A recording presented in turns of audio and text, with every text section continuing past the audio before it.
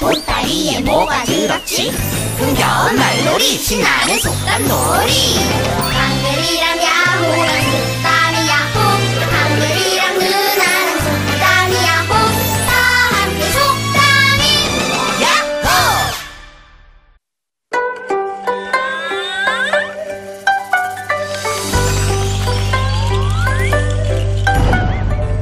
한 번, 두 번, 세 번, 네 번, 다섯 번, 여섯 번, 일곱 번, 여덟 번, 아홉 번, 열 번.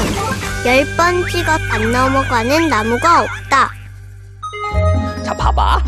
훌라후프를 여기쯤에 대고 이렇게 휙 돌려서 훌라 훌라 훌라 훌라. 훌라 훌라. 해봐. 허리에 대고, 씩. 허리에 대고, 휙. 이렇게. 안 되잖아.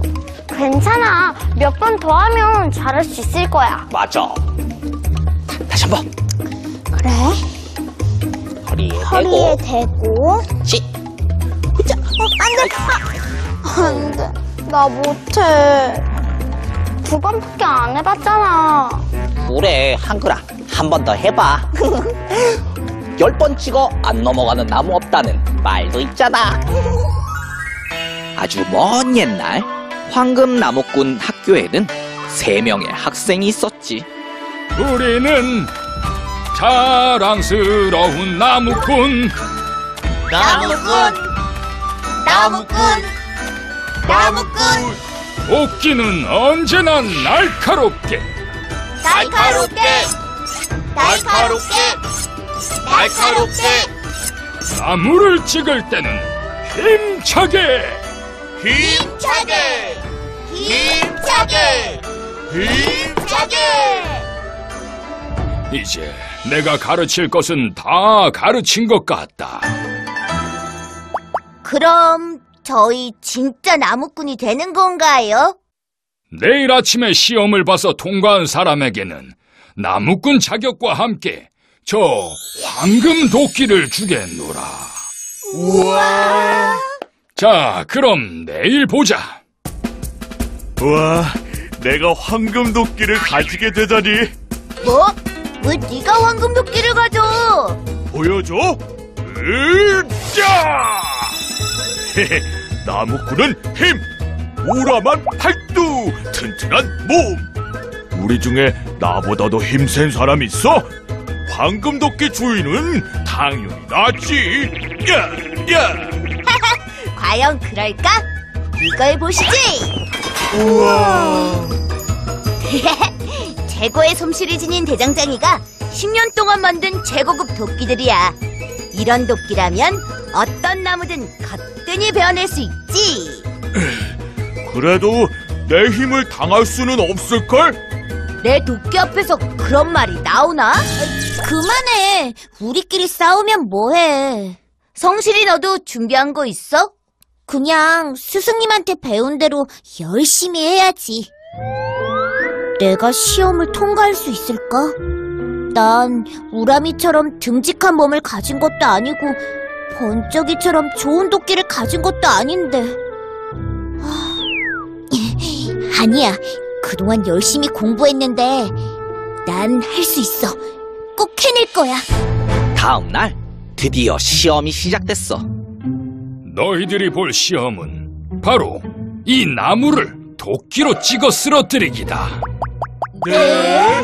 스승님, 저 나무는 이 산에서 가장 크고 굵은 나무인데요? 저렇게 큰 나무를 어떻게 쓰러뜨려요? 못하면 아직 나무꾼이 될 자격이 없는 게지. 자, 우람이부터 해보거라. 젖먹던 힘까지 다 끌어모아서 도끼로 찍어야지.